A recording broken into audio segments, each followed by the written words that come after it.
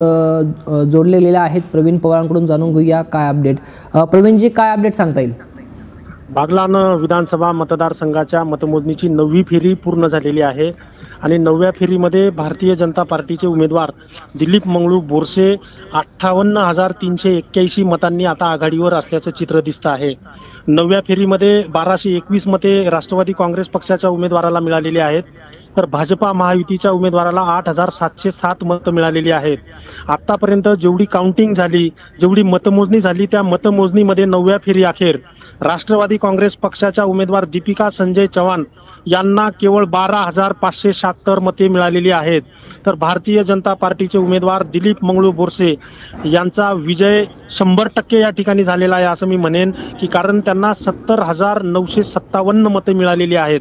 आणि दोघांमधला फरक हा आता अठ्ठावन्न हजार तीनशे एक्क्याऐंशी मतांचा झालेला आहे. एकंदरीतच भारतीय जनता पार्टीचे उमेदवार दिलीप बोरसे आघाडीवर नाहीत तर ते बागलान विधानसभा मतदारसंघाचे आमदार म्हणून पुन्हा एकदा निवडून आलेले आहेत. आणि बागलान विधानसभा मतदारसंघाचा जो इतिहास होता की सलग एक आमदार पुनरावृत्ती करू शकत नाही तो इतिहास आमदार दिलीप बोरसेंनी मोडून काढलेला आहे. आणि बागलान दिलीप बोरसे यांनी तिसऱ्यांदा आमदारकीची माळ आता गळ्यात घालून घेतलेली आहे. जसं की गेल्या अनेक वर्षांपासून म्हटलं जात होतं की ताकदच आहे. ती ताकद आता या बागलान विधानसभा मतदारसंघाने दाखवून दिलेली आहे. आणि भारतीय जनता पार्टीचे कार्यकर्ते असतील महायुतीचे कार्यकर्ते असतील यांचा मोठ्या प्रमाणावर ढोल ताशाच्या गजराने जल्लोष सुरू झाल्याचं या ठिकाणी बघायला मिळत आहे.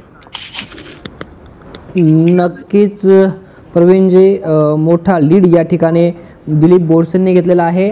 अठ्ठावन्न हजार तीनशे एक्क्याऐंशी मतांचा लीड या ठिकाणी दिसत आहे. नक्कीच धन्यवाद माहिती दिल्याबद्दल. त्याचप्रकारे आपण बघूयात बागलामध्ये कशा पद्धतीने जल्लोष सुरू आहे संचयनिका तीनशे त्रेचाळीस प्रवीणजी नोटा चारशे तीस एकूण अठ्ठावन्न हजार सहाशे दोन. धन्यवाद.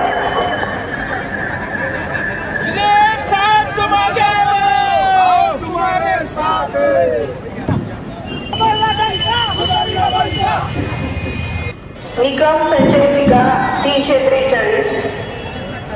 प्रवीणजी नोटा चारशे तीस. एकूण नक्कीच या ठिकाणी आपण बघितलं असेल की मोठ्या उत्साही पद्धतीने दिलीप बोरसे यांचे कार्यकर्ते आता रस्त्यावर उतरत गुलालाचे उधळण करत फटाक्यांची आतिषबाजी करत त्या ठिकाणी जल्लोष साजरी करताना दिसत आहेत. आपण पुन्हा एकदा शिशिर हिरे सरांकडे जाणार आहोत. त्याआधी मालेगावचा पुन्हा अपडेट येत आहे. मालेगावचा अपडेट जाणून घेण्यासाठी हरीश मारो सर आपल्यासोबत आहेत. मारोजी बोला काय सांगाल?